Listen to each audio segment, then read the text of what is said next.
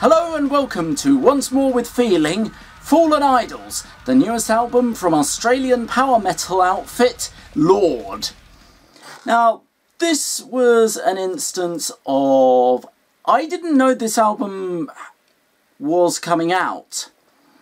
Um, chalk that up to people not updating the necessary channels frequently enough and the various algorithms that you have to contend with where all the news that's actually useful to you doesn't come up.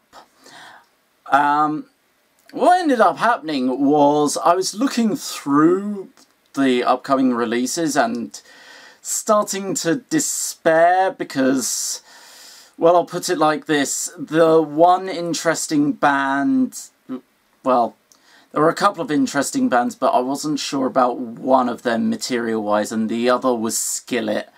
I like Skillet, no problem with them, but I don't want to have to deal with the religious crowds. Being an agnostic, that was. So, I decided I'd take a break from trying to find stuff on the wiki that I could review. Um, just started scrolling through Facebook and I found a post. A post that Lord had very cheekily made asking if they should tell someone that they. So there was a post that was listing all the various bands that had album releases in August. And Lord cheekily went, Should we tell them we've just released an album? And I, I was sort of like, wait, Lords released an album? Clicked to their page, found the video for the first song on the album, United parentheses Welcome Back, watched it, and I immediately went, yes, this, this is what I'm reviewing. I, I was sort of like, this is, this was what I was this was the sort of thing I was wanting, because whilst I do cover all manner of genres, I am very much inclined to metal, especially power. Power and thrash are my two special special places in my heart, and Lord leans more towards the new wave of British heavy metal side of power metal dy- dynamics and everything and that is very much my jam. And my initial reaction to this album was I loved it from start to finish. Um, there were a couple of points where I was sort of like, mm, this isn't as strong as the rest of the album, uh, but there was there wasn't a single song that I didn't like. So let's just get straight into it with the opening track, United.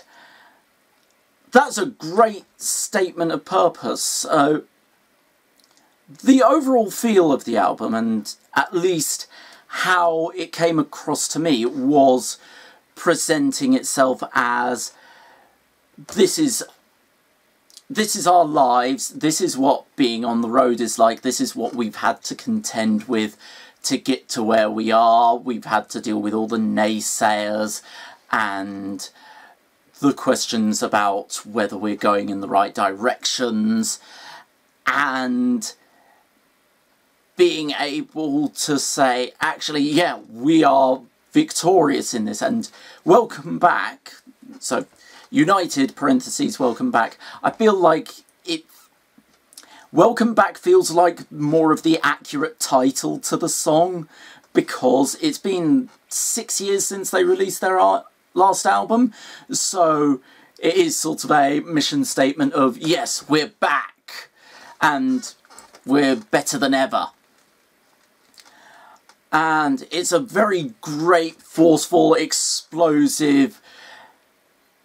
You know, it, it comes at you very fast, very sort of, oh my god, it's, this is how you open an album. You grab the audience by the throat and you make sure that you're saying, this is the sound that you're getting. It gives a very good barometer of what the rest of the album is like. Going on from that, we've got Immortal. Uh, it slows things down by a gnat's crotchet. By that I do mean it's only ever so slightly slowed down and it's still very weighty and it's one of the songs I lean more towards because it's it's much more layered in metaphor, using sort of the imagery of a great damned beast, which quite often those in the alternative crowd, particularly metal fans, will often feel like. They'll feel damned and rejected, and so you will have this overarching feel of, well, I might as well lean into that it really helps to bring to the forefront the idea that this is all sort of how they feel about their careers and about their lifestyles within metal. Uh, next, we've got the title track, Fallen Idols. Not one of my favourites, I'll admit. I feel like it's actually one of the weaker songs on the album. With that said, it does maintain the overall feel of the album. It definitely keeps this whole idea of within metal we've had uh, if I'm interpreting this right I could easily be reading this wrong. Um, but in metal we have had a lot of people leave us in unfortunate circumstances. But the music is still there and it still inspires. It still drives people to create. And it really brings brings forth that idea. Wilder Than the Wind, that is much more NWO sound. If I was told that they were listening to a lot of Iron Maiden when they wrote that, I wouldn't be surprised. And that's not a bad thing. Like, Iron Maiden, whilst I, I will admit I am actually more of a fan of when Bruce Dickinson was doing his solo work. I still love Iron Maiden. And if you're evoking that feel, you're definitely doing something right. And that kind of...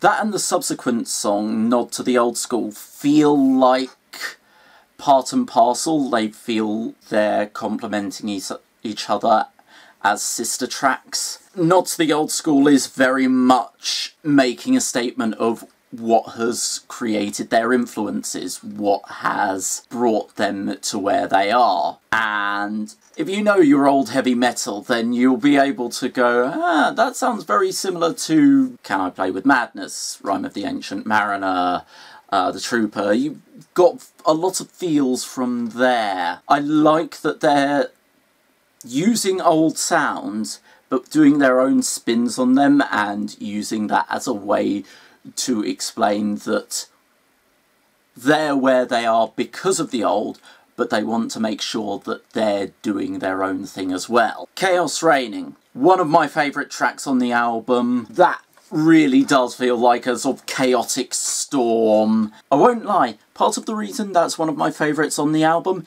is because of the fact that it's much more layered in metaphor and has this very apocalyptic sound that if you're on the alternative scene, you're definitely going to clue in on, and it's definitely going to evoke sort of the much more furious but resilient and um, defiant feelings that you will very often have. Absolutely love the track. I would say if there was one track on the album that you were going to specifically listen to it for, it would be Chaos Reigning.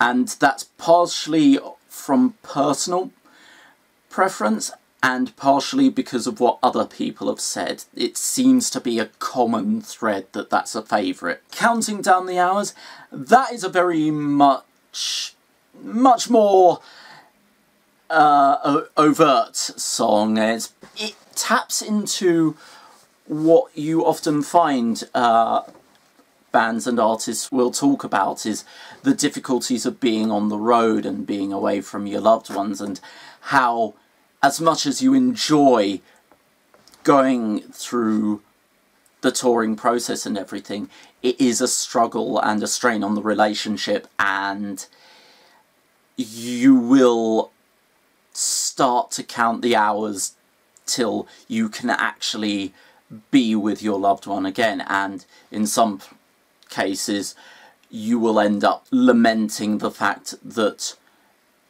your career has damaged and broken apart that relationship and how it's of you get dichotomies through the verses and chorus where it goes between looking forward to seeing your loved one again, seeing your wife, your girlfriend, your boyfriend, whoever it may be, seeing them once again. And it changes between choruses from how it can be that you're simply looking forward to it and it will be blissful and how you're counting the hours but that time never comes because of how your relationship has been damaged. Definitely got a soft spot for it. I, I like tragic love songs. Might say a bit more about me than I care to admit, but whatever. The Edge of the World.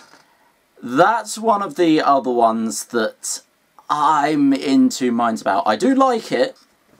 Great track, but it has a bit of a feel of a bonus track. Because the sound changes quite dramatically, there's a lot more of a black metal influence in uh, The Edge of the World. It feels more like it should have actually been placed either as a bonus track or right at the end. I won't deny that's probably just personal preference, but it does jar slightly with the rest of the album. Yeah, great track, but because it's sort of...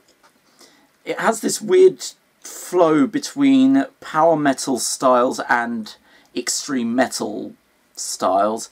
Like, the vocals and guitar work change between the two, and it feels a bit off kilter compared to the rest of the album. I'd be interested to see what other people have to say about that track in particular. Uh, next, Kill or Be Killed. That and Chaos Reigning, my two favourite tracks. Kill or Be Killed, again, has this much more apocalyptic feel and it brings to the forefront this idea when you're into metal, punk, rock, all that sort of thing. It's much more of a, you can either embrace the lifestyle, you can become part of it, you can actually foster the good feelings that acknowledging what you are a fan of can build, or you can end up being destroyed because you're trying to reject that part of your personality. As it probably is quite obvious, I have never rejected that, but I have known people who... You, you'll come across quite a few people who will use the turn of phrase, when I was into metal. And I, I've always found that quite a curious turn of phrase, and I've wondered if it if maybe it's that do like the music and they wanted to continue being into it, but peer pressure force them out of it. I've always found it quite quite suspect when people say when I was into metal. It's a it's a bit of a questionable phrase. I, I can understand growing out of bands, but growing out of entire genres, I question that. Lastly, Master of Darkness. I'm in two minds about that. One, it's a great track, it's perfect for bookending the album. It really brings home the overall mission statement. It works off the idea that when you're part of that scene, when you are a fan of the music, when you engage with alternative music, um, you are seen as a pariah and everything like that. And ultimately, when it comes to bands, they are effectively sort of the overlords and the masters of this this dark evil scene that needs to be shunned and it really works well off of that however My one complaint is that it means the album ends. Yeah, my one complaint about that song is the fact that listening to that song means that you've got to the end of the album. I suppose that is a good that is a good thing about it is it leaves me wanting more. And I'm never going to fault an album that leaves me wanting more. I suppose my one real complaint is that because of how it's designed, it feels like you are going to get a second album. So I don't know, maybe release a special edition that's a whole either demo tracks or tracks you didn't feel like, you know, do a Devin Townsend, give us the bonus, give us more. I- I'd like to hear more. Even if it's just the demo cuts of the tracks. I because I, I, find demo versions of songs really fascinating. Like um, Godspeed on Devil's Thunder, uh, one of Cradle of Filth's albums. Um, the special edition of that had a lot of demo tracks, and the demo versions sound very different, but in some cases I prefer the demo version, so I would be very intrigued to hear what the demo cuts sound like. And I'm always fascinated to hear songs that didn't make the cut on the main album. Like, there is a wealth of material that Devin Townsend has released, which I really love. In some cases, I've enjoyed more than the tracks on. Again, I've enjoyed the cut material more than the tracks on the actual album. But none the more for that. This album perfectly bookends, it leaves you wanting more, and ultimately, none of the tracks are bad. Love the album, there's just, there are ones that are much stronger than others, and overall, I'd give this album a 4.5 out of 5. I'm definitely happy to say welcome back.